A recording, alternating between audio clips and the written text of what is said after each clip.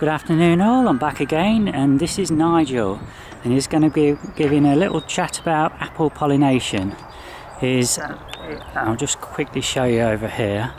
He's got all these apple trees and I'm going to pass you, I'm going to let him give a little chat about it. That'll be the easiest thing. Okay, over to you Nigel. Okay, uh, well you're probably not aware but um, when you plant the pips from an apple you don't actually get the same apple from the, uh, the new trees that you started with. And the way you actually raise new varieties is to plant pips from apples that you've created by pollinating yourself. Uh, you choose your two apple parents, you cross them in a way that I'll show you, and then the fruit that develop, you take the pips, you sow them, and those are your potential new varieties. Right. Mm.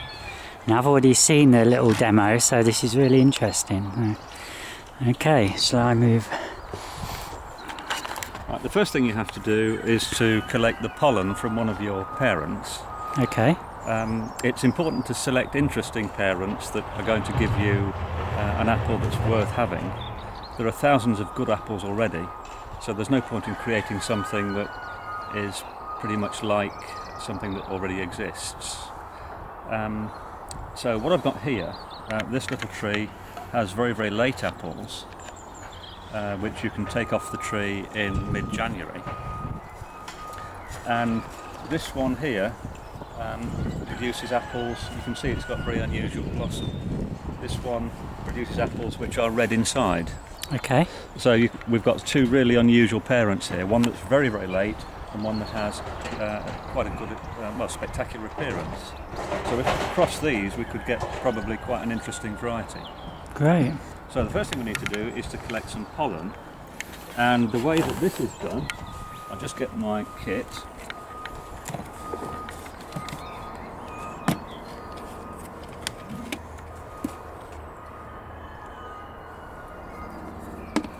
The way that you collect pollen from one of your parents is uh, to, well, first of all, you've got to find the pollen sacs on the flowers.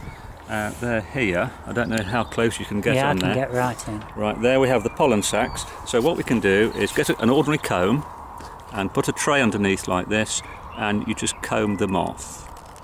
Okay? Yeah. So you do that with perhaps 50 flowers or so. Okay. and then you leave this in an open tray for several days inside and those sacs will split giving out a yellow powder which is of course the pollen. You then collect the pollen together and on a nice warm day, rather like today,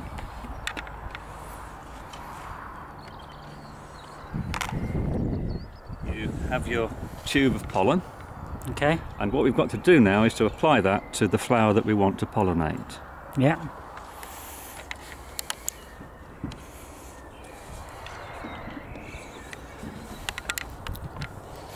Now to pollinate one of these flowers, what I would need to do is I've got to choose a flower that's not been pollinated already. So I've got to choose one that's still closed. We usually choose a flower that's at what we call the balloon stage, where it's just about to open. And you can see there's one, there's another one, there's another one.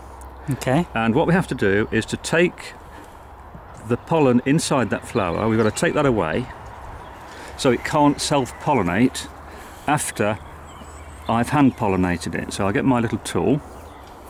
Right, there's my tool, look, a pair of Oh, right. modified scissors. Right. And I put this on the, the flower and uh, failed. Let's try another one. I'm going to try and pull. There we go. Now you can see that I've. If I take the petals off another flower so you can compare it. Right, you see there? Yeah. I've taken away all of the pollen sacs on the lower flower and the petals, and I've also taken away part of the flower structure known as the calyx. Okay. And now what I need to do is to get a glass rod, dip it into my pollen, and apply it to the four anthers there on the flower. Right.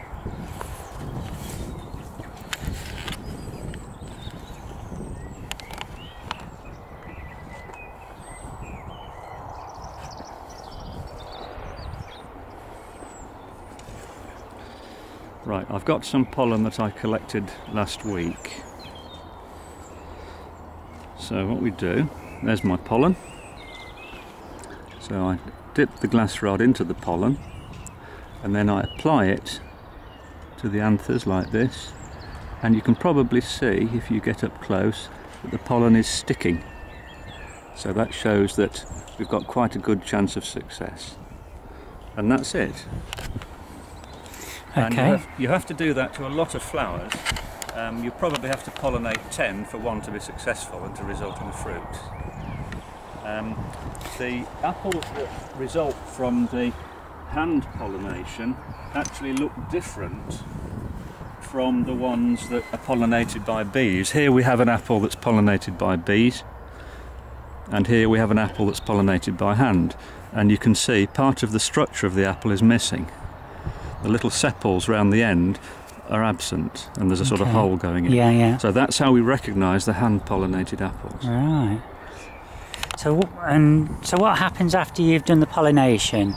Is it uh, that you then collect the pips from the apple that's formed on there? That's right. We Yeah. collect collect the pips from the apple.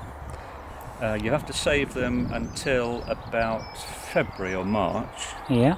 Um, it's best to keep them in the fridge, and then when it gets to February or March, you can put them in uh, a damp growing medium in a sealed container in the fridge, and leave them there in the cold, and they will slowly germinate over a period of about three months.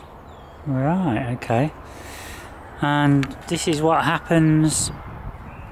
This is these trees here are about five years old. Would that is that right? Uh, th- well, there's a sort of growing cycle of about five years. For the first two years, you let the pips grow in, Yeah. in pots, yeah. and they'll probably get to about this high. Let me just go back high. bit. Yeah. Yeah. Okay, about that, that high. Um, when they're that size, one option is to li- put them in the ground and see how long it takes them to fruit, but it can take up to a decade, which is far too long. So usually then you graft them, you take a piece of those seedlings, you graft them onto a rootstock, and you get trees like this.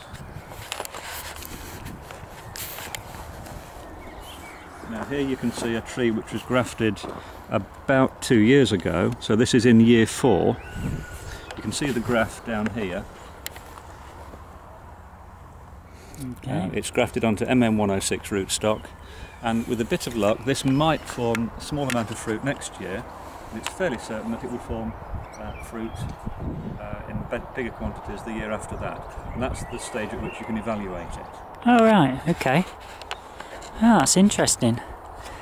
Thanks a lot. Okay, thank you.